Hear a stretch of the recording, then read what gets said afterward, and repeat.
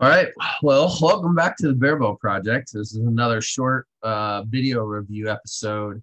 Um, I asked the parents of this young man, Logan, uh, if I could use him as an example um, of what is going on uh, with his shot and maybe talk about the things we're working on um, in order to help get him through a little bit of a rough patch. Um, I've been coaching Logan for quite some time. Logan is the first shooter that I coached that broke a national record. Um, he was like 11 years old and broke the Bowman um, Barebow indoor record during indoor nationals.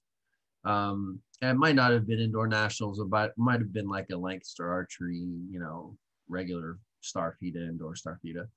Um, so, but Logan, you know, he comes and goes with some things because Logan takes some um, some medication for um, epilepsy, and he when he goes through medication changes and stuff like we see differences in his response and his ability to concentrate and everything he's got going on. But the one thing that you know, is a is a constant is that he loves archery and he continues to shoot despite you know maybe some performance peaks and valleys that you just can't. There's nothing you can do about. Um, it's just part of the process. So, you know, and I I, I worked with Logan this weekend. I did some one on one with him um, because because he has been struggling and because he is. Um, going through some changes and he's growing uh, substantially um, you know and going through changes. His body's going through changes. So things come up when you're coaching kids that you are out of your control and you need to just sort of navigate those situations as best you can. Um, this is why as a coach it is so incredibly important that we teach our kids not to focus on score and strictly focus on um, the the the process side of shooting. Um, you can't take you know every single shooter and just tell them about well you just need to concentrate. You need to practice your concentration. Like that's not that's not the sole answer to dealing with target panic. Logan's target panic like i said it comes and goes. When he is great he's great. But when he as soon as he allows his mind to fluctuate over to thinking about score or thinking about an errant arrow or whatever he he gets really he's really hard on himself. So but what we're working on is some of his tendencies with his shot process that causes or triggers the target panic per se. Um, and I want you to pay attention to some things because there's a lot of things that happen in target panic that are the same effect, but a different symptom for different shooters. Logan gets, he has two things that he does. He gets stuck low.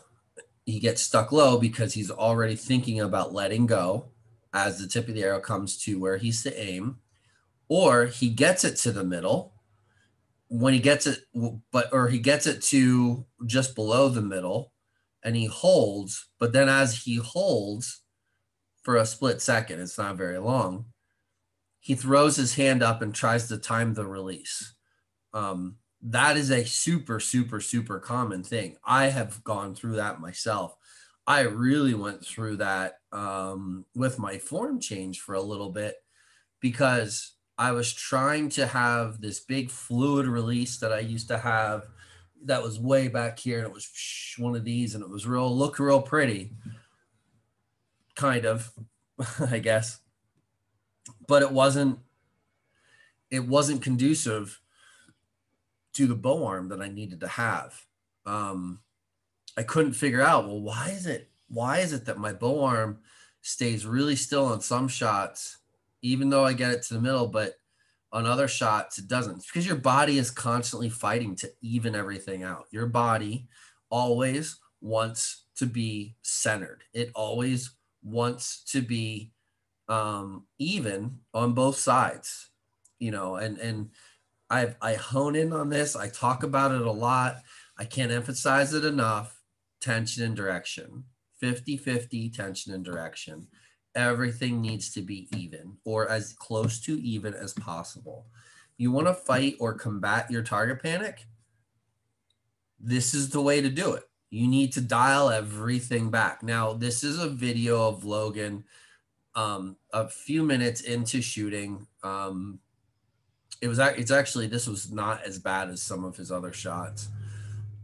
By the time he was done, um, we really dialed back his movement and focused on his bow arm. so I'm going to play this through. I want you to watch Logan's movement.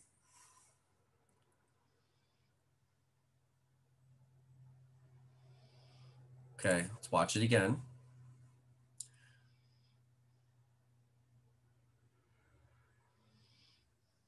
And one more time.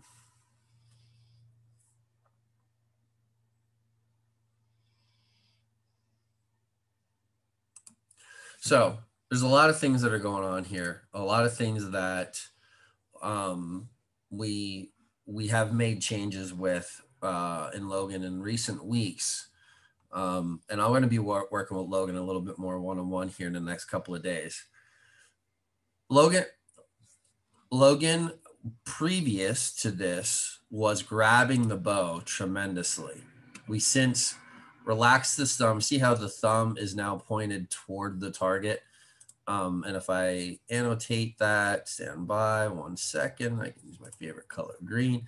This thumb used to be down this way, and that's no longer there. Um, made a huge difference. Now he has his hand in this position with his fingers relaxed but they're curled off to the side. It helps prevent um, that grabbing of the front bow tremendously. Again, this is another one of the reasons why I emphasize you need to have a finger sling so that you can allow, you can relax that hand completely and allow those fingers to fall to the side of the riser, keeping that 45 degree angle. Um, so I guess I'm using my right hand for some reason. I'm, I'm left, I'm right-handed, so it'd be my left hand but keeping that 45 degree angle, letting these fingers completely relax. Remember, when you have a relaxed hand, this isn't a relaxed hand. Finger straight is not a relaxed hand. A relaxed hand, you take your hand and just take all the tension out of it. What naturally happens? Your fingers, they cl- they collapse. They but they're they're in this relaxed position. The only part that's not relaxed in the shooter's bow hand is right here. It does make a, a, a difference. Excuse me for this quick commercial break, really just a communication with my wife. Yes, honey, I would love Dunkin'. so, no, I will not edit that out. um, you know, and that's one of the things that we've been working on. And I always, it's an, again, talking about negative tension any pressure you are putting into your grip, that includes the thumb um, here, here. Um, and I really wish I would have taken a video from the other side. This is literally the only clip I took. And then I messaged them and say, hey, do you mind if I use Logan as a case study? Um, and then the other hand, whether it's around the front, um, really squeezing that, you know, that the grip, you know, the, this is this is the only place that you should really have any tension is where the grip is uh, making contact from your pivot here and then down to your pressure point. I still think I still think Logan's a little heavy on the grip, but you know it's not the end of the world. Um, all in all, you know his his this full draw position is not bad. You know, slight angle up, maybe a little more than I like, but it's not terrible. He's also like aiming down, so that's part has a big crawl because he's aiming close. Um, but that's not, you know, not the end of the world. Shoulders are pretty level. This this one's up a little bit, but you know, again, there's in the world of things that to worry about. That is in this situation, that is not it. Um, it's getting him comfortable aiming again, um, working on the the movement, um, getting rid of the excessive movement when the shot breaks, and what what the result of that is. So we're going to go to that point where where Logan um, is shooting. All right. So you see that hand movement. Let's watch that again. Watch the hand movement. Shoot straight up. Boom. See that hand movement. We're going to watch it one more time. Big jump, big jump. That hand, and uh, we're going to go back. I'm going to pause it. We're going to create a line um, right where the top of the arm is, right here. I'm just going to trace that. We're going to see how much movement happens after the shot breaks here. All right. Look at that. So what he's doing is he's getting to full draw. He's bringing the tip of the arrow to the six o'clock position on the dot. And when he does that, um, he gets just below, he gets just below that, that gold. And at the last second, he throws it to the aim point and then quickly lets go. So because he's using that visual as his right, what's happening on this shot, he's using that visual as the um the reason, the trigger for him to let go. And we all know that that's not the right way to do it, and that you can, you absolutely can shoot decent scores with like little mini drive-bys. Just a little bit more than a mini. This is this is a this is a high-profile drive-by, in, in my opinion. Um, so how do you get rid of that uh, and shoot a non-triggered shot? How do you dial this back and and remove? all of this excess movement and, and go and try to fix things. Well, again, we're going to go back to the full draw position because, you know, his full draw position is pretty good. He anchors a little further back, um, which is, is, which his anchor isn't bad. Um, I wish he was in the corner of his mouth, but he, we we haven't he hasn't mastered coiling at his waist in order to get to that position but he has improved it tremendously. I'm not touching his anchor right now. It's the least of important things. His anchor is consistent. It's not the end of the world. Um, to each their own how they anchor. I am a, a, significant fan of coiling, anchoring in the corner of the mouth, using the C of the hand with this behind the jaw so that when you anchor, you actually draw to load below your chin. And then this space right here splits the jaw and comes right into your anchor. You you it's it's so consistent. It's incredibly consistent. Um, you know, he's on he's got more of a Rick Stonebraker anchor. He's on the side of his cheekbone there, but it's it's a heavy anchor. And this is something that I have carried over from what I've learned or experienced as an Olympic recurve shooter, as well as compound, especially, is I'm not a fan of a heavy anchor. I'm not a fan of a lot of facial pressure. That affects your tune. That affects how you tune. Um, I'm more of a fan of light pressure, minimal at best. Um, just it's got to be super consistent. You can shoot with a heavy pressure in the side of your face and be consistent. It can be done. There's no question it can be done. Um, in my opinion, it's a higher volume of arrows to make that repeatable. So I try to navigate shooters to stay away from what has what going to take a higher volume of arrows to be repeatable and and and and move as far away from it as I can. Um, but you know, a couple of things, you know, his hook isn't too bad. You can you can see you can see that his hook here really isn't too bad. He might be a little bit on the shallow end. Um, that might be something that we'll look at. Um, and you can also see, I'm gonna draw, I'm gonna go back a little bit before he's at full draw. We're gonna go to the setup position. So right here, he's in the setup position. And as he comes in, you can see how he moves his face. Again, it's some, one of those things that I want to eventually try to get rid of, but he's developed these habits over time.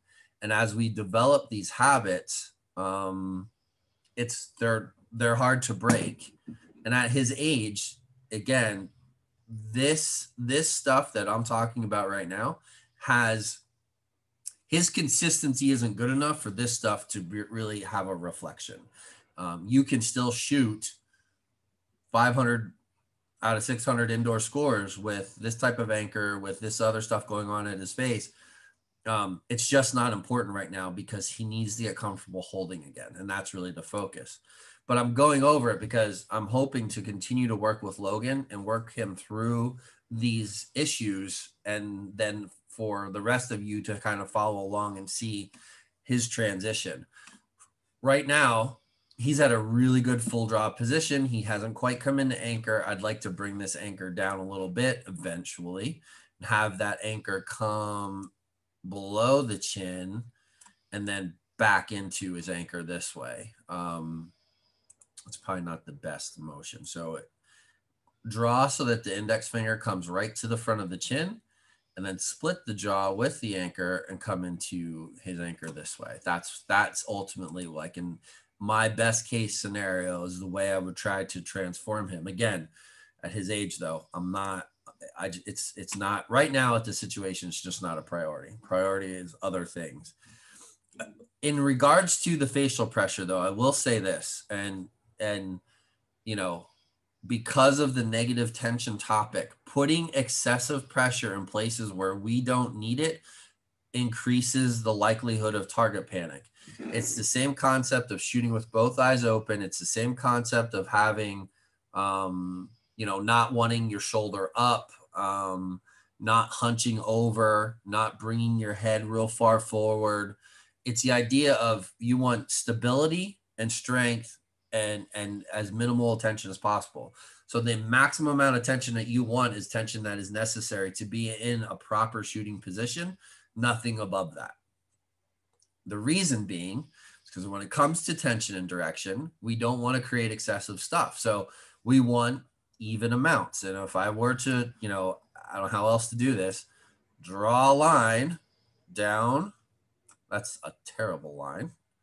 Let's try that again. So if we were to draw a line down the middle of Logan like this, it's probably not the best, but it's not too bad. Um, we want 50 50. We want 50 and 50, right? That's what we want. And that's nice, nice zero. We want 50 50. So, in order to create that, we need to reduce the movement here and reduce the movement here upon release. That's that's what we need. Um, how how do you accomplish that, or what do you do? Well, this I'm gonna I'm gonna play this real quick, and I want you to watch his release.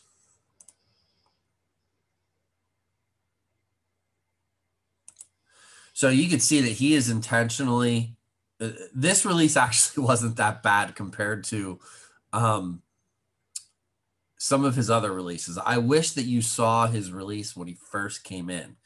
His release was coming like like it was like way back here and he was stopping way back here at his shoulder and he this specific shot he's trying to reduce the movement and he actually doesn't do a terrible job i mean he loses posture in the hand um so you can see that it's it's not super repeatable, but I will take this release over the alternative. Um, hold on a second. So when he shoots, let's see if we can. He he doesn't do too bad of a job of letting the string pull through. See, this bow arm is still right now. Head hasn't moved. Um, like this point in the shot where he lets go, looks good. But the problem is, is that he already started moving, and you can't see that in this frame. As soon as I hit play, that bow arm's going to jump up because to him during aiming, he's only moving it this far, but it's it's right it's it's riding up, and he's moving it last last second, right as it's going to let go, because he's trying to get it to where that aim point is, and that's what we have to get rid of. So the goal, and this is one of the reasons that like a static, like a true static release can actually work in barebow, but a true static release, the problem with a true static release is you're not succumbing, you're not utilizing the back tension to its full capacity. The amount of movement that that you will should see in a release is just the release of tension from the string. So when you are here, and that string breaks, it's just allowing it to finish. The tension here, the tension you have in your back, pulls it, and that's it. That's where it ends. Not adding all this extra stuff because when we add all this extra stuff, it's going to want to naturally happen on the opposite side. The trick to dealing with target panic people is simplifying your shot process. Less is more. Get rid of all of the extra stuff that you do. Get rid of the extra negative tension. Get rid of all of the extra movement and let, as John Demmer says, enjoy the aim, enjoy the hold, and let the bow do its work so that you don't have to. Allowing that string to pull through does that, you know. Um, you know, and i I'm going to go out on a limb and say that this is one of the reasons that shooting with the thumb has become so popular because it takes the challenge in some ways, not some ways, I think it legitimately does. It takes the challenge out of aiming. Um, but it's hard, it, it can be harder to repeat. You can hold because it's like holding a hinge at full draw. It's literally like holding a hinge of a compound at full draw so that that string can pull through when it pulls through. Um, but it's not super repeatable and it's not good for alignment purposes because you have to anchor way back here to get to alignment and you're overdrawing and like it's just it's real it's real wonky. And I, I don't think you'll ever see a 550 560 570 shooter shoot that way. Um, it's one of those things that you and i could be wrong somebody can prove me wrong but until that happens i'm going to stick by it by by what i'm saying the the goal is to reduce all of reduce all of the movement in the shot. Um, let the body do the job that it that it has the capability of doing by you know um, doing perfecting the alignment um, letting the string do the work and just reducing all of the excessive movement throughout the entire shot process. Establish the barrel of the gun early.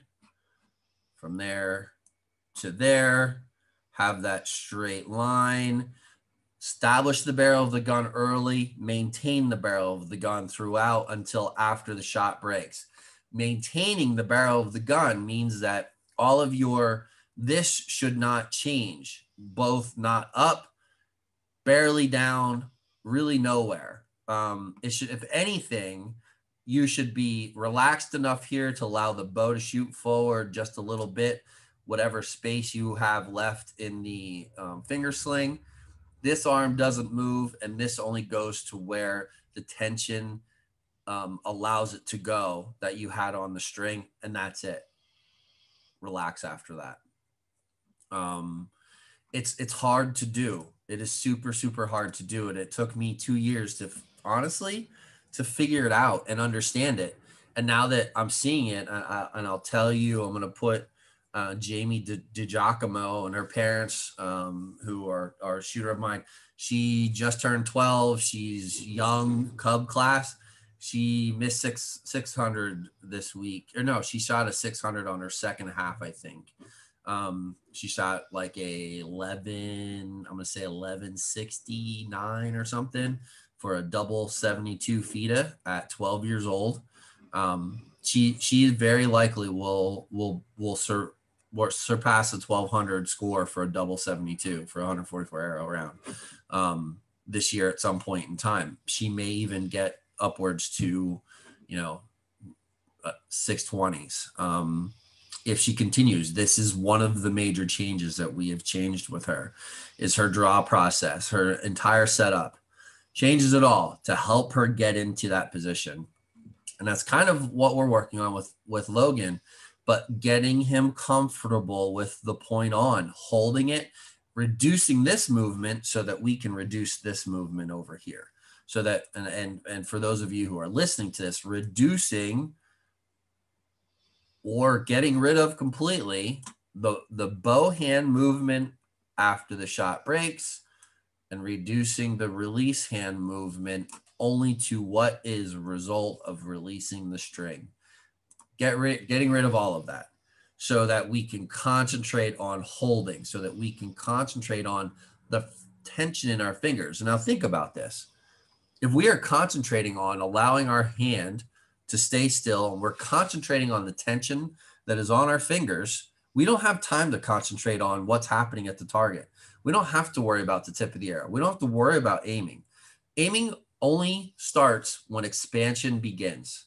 That's it. That is it. You don't start aiming. Same for compound, same for Olympic recurve, same for bare bow. You don't even worry about aiming. Yeah, you might put it in the area, but you're not actually aiming. Don't even worry about it. Get it in the area, let it float, enjoy it, but don't don't over analyze it. Concentrate on the tension. Concentrate on the hold. The moment and I'm gonna I'm gonna close this uh, annotation out. I'm gonna go back to his full drop position.